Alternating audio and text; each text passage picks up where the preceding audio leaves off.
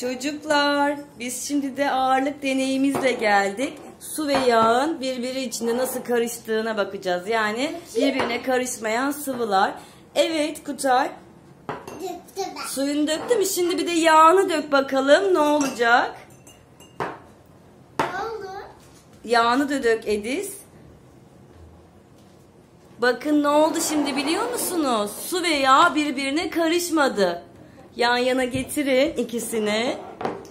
Bak su altta yağ üstte çıktı. Çünkü, Birbirine karışmayan sıvılar deneyi yapmış olduk. çünkü mikropları engelledi su. Hayır yağ daha kaldırma kuvveti olduğu için üstte kaldı.